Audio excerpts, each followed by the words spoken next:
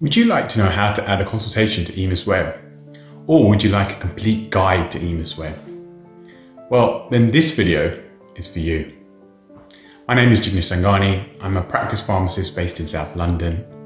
And I've set up this channel to help you get the most from EMIS Web and learn about general practice.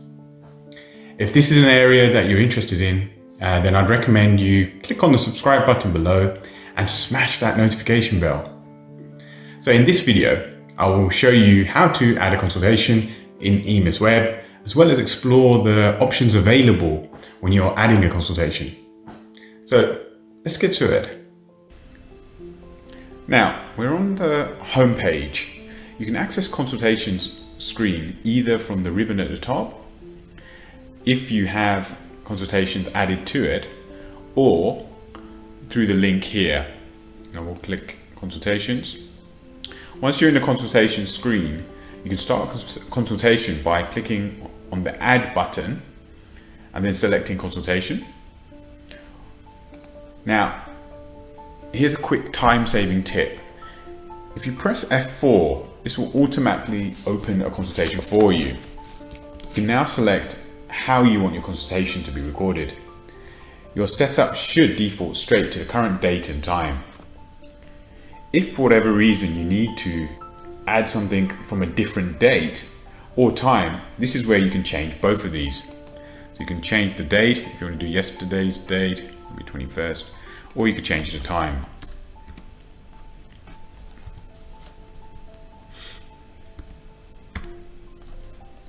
Um, it will, should go to your name for the consulter, and then you have the consultation type.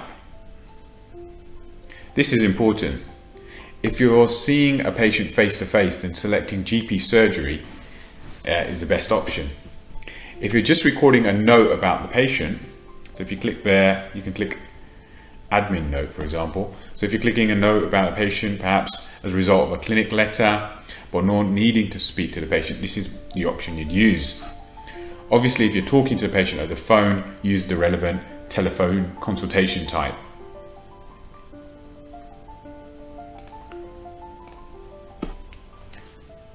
Selecting the right consultation type matters. I've found this particularly important post-COVID when there have been uh, situations where you want to know whether a patient has been seen or just spoken to over the phone. Documenting the type of consultation that took place makes it clear for anyone reading the notes. Now, on the left, you can see all the different sections you could add to a consultation. Um, you don't need to use all of these. You can use whatever you need to for your consultation. I'm going to start with the problem tab. Click on there. And let's say I wanted to add an entry about suspected asthma. So I start typing that in. As soon as I start typing it in and putting a few words, EMIS picks up the code and I can select suspected asthma. So I'll click on that. Now you can see straight away I've got a little warning um, that if the patient has suspected asthma, be careful of beta blockers. So that's a useful little prompt if the patient is on any medication that you should be aware of.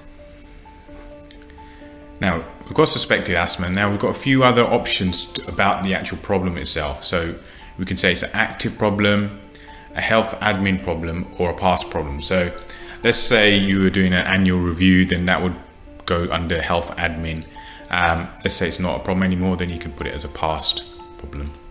Then how important the problem is. it a minor problem or significant? Well, significant. Is it the first time the patient's been uh, diagnosed with this problem? Is it a review, flare up, or is it no longer an issue? So you can end the episode if, if need be. So there, there's some options there. How long do you want it to stay active for? So indefinitely. And then you, have got the option if you want to keep it as your default. The next one we've got is history. So let's say here I, put in something like complaining of so this is where you can write down what the patient's come in for, what, what the query is and so forth. Uh, examination, so let's say we're checking blood pressure. As soon as you type in BP, you got the first code being picked up by EMIS there. You just select it. enter blood pressure if you want. So let's say we're going to add family history. So we go family history. Um, let's say the patient has a family history of asthma. So we put in um, history asthma. We select family history of asthma from the code pickup. Which family member? So we'll put in mum. And that's added there. So social, you could add cigarettes if they're smokers. So cigarette smoker.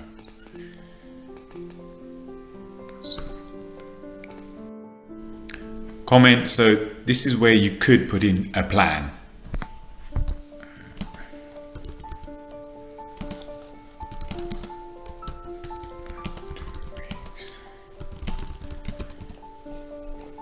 Here you can add in medication. So here you, I'm, I'm going to do a separate video about how to add in uh, a medication in a consultation and how to add in medications generally. Um, but just be aware that you can add medications uh, during a consultation. And actually, it's a, it's a, very good idea to, to put the medication in as you're doing the consultation, just to make it clear why you've prescribed it. So anyone looking back at the notes can see, oh, that was the reason why that particular medicine was prescribed. Um, you've got a follow-up tab here if you need to. So let's say you need to review the patient um, again in uh, to check how things were going. So you could put in a code, something like asthma follow up if you wanted to, with the date of when you wanted it to be followed up. So um, you could change that there. You got test requests, so you can put in test requests, referral if you need to refer out. Uh, documents, so if you need to attach a letter, let's say patient had sent in some peak flows, you could attach it into the consultation. And then you've got allergy if you need to record any any allergies. So I'm just going to save this so you can see what it all looks like. There you go, and that's where the consultation, that's how the consultation looks. Now let's edit this consultation. Now, what do you do if the patient wants to discuss another problem? Well, that's easy. But before I go into that, if you found this video useful, then please click on the like button below. It will help more people find this video. If you want to move on to a separate problem, all you need to do is click on next problem.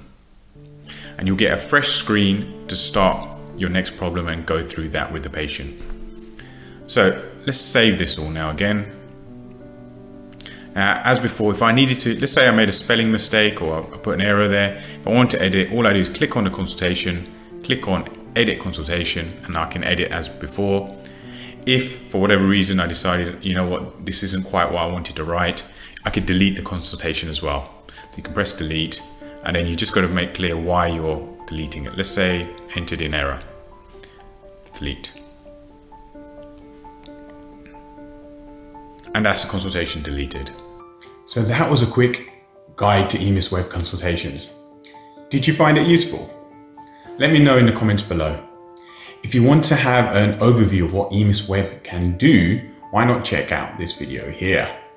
Now I'm hoping you can see a box with uh, another video, otherwise it may look a bit odd.